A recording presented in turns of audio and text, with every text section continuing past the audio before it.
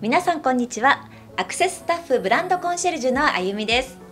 前の動画のコーデの主役になるバッグでもフィーチャーしたブランドのロゴアイテム。今回はバッグだけではなく財布やカードケースなど6つのブランドからアイテムを集めてきました。バイヤー一押しのこの秋冬の新作ですのでぜひ最後までお付き合いください。まずはバッグから新作が入ってきました。ロエベのアイコンアナグラムのトートです。フロントに大きなエンボス加工のアナグラムが目を引きますね。ロエベのアナグラムはアートのようで私大好きなんです。レザー生地は味のあるカーフで使えば使うほど風合いを楽しめます。広めの待ち幅を設けていて A4 サイズのものも収納できます。ビジネスシーンなど幅広く使えますよ。次はバレンシアガの定番バッグカバの今季の新作。バレンシアガらしいシンプルでスタイリッシュなデザインはどんなファッションにもマッチしますよね。モデルたちにも人気のキャンバストートにレザーの切り替えが施されているのでカジュアルすぎない大人の雰囲気も。内側にはポーチがついているのでバックインバッグとしても使えますね。こちら A4 サイズも入るスペースの広さも嬉しいポイント。レザーもキャンバス部分も全てブラックになっているので秋冬にも合わせやすくてスタイリングしやすいんです。続いてサンローランのショルダーバッグベッキー。このダイヤ型のキルティングとゴールドのロゴが特徴です。なんといってもレザーの柔らかな質感がたまりません。グレイッシュカラーのレザーがモードなイメージの強いサンローランのバッグに柔らかさをプラスしています。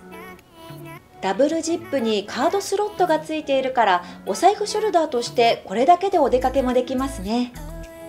アイコンとゴールドのチェーンがコーデをエレガントな雰囲気にしてくれます。そしてここからはスモールレザーアイテムをご紹介します。まずはフェンディのミニウォレット。ブラウンとブラックを持ってきました。ミニサイズにビッグサイズのロゴがキャッチーですね。ローマのブランドフェンディがメゾンを代表するロゴを男女問わずあらゆるアイテムに授けたコレクションです。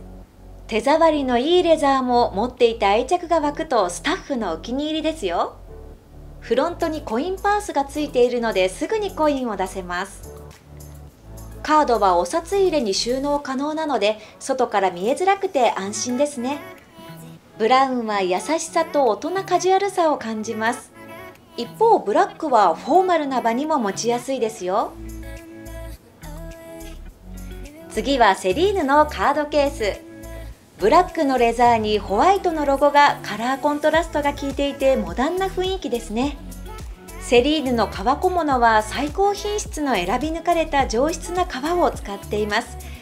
柔らかくしなやかなレザーはさすがセリーヌですよね。スリムなボディなのでミニバッグと合わせてもいいですね。ジェンダーレスで飽きが来ないデザインです。最後はステラ・マッカートニーの長財布です。3色持ってきました。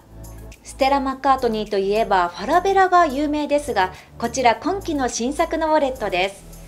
サークル型のドットが優しくブランドロゴを表現しています。そして今回カラーにも注目ですね。全く雰囲気の違う3色です。まずミストというカラーは爽やかで優しい印象。そしてポップなローズピンク。飽きのこない定番色のブラックです。私はいつも淡い色を選ぶことが多いんですが今年のトレンドにもなっているポジティブカラーのピンクに挑戦してみるのもおすすめです。ファスナーパーツにはステラのサークルロゴがここにも。ラウンドファスナーを開くと街が開き中身の確認がスムーズですよ。たくさん入るのも長財布ならではですね。よく見るとファスナー部分の色はそれぞれ違うんです。ステラのディテールへのこだわりを感じますね。皆さんはどのカラーがお好きですか？今季のロゴアイテムいかがでしたか？バッグやお財布などたくさんありましたね。お気に入りの新作はありましたでしょうか？ブランドロゴが印象的なアイテムを1つ取り入れて秋冬のおしゃれを楽しみたいですね。この動画が少しでも面白かったらグッドボタンとチャンネル登録をよろしくお願いします。では皆さん次回の動画でまたお会いしましょう。ご視聴ありがとうございました。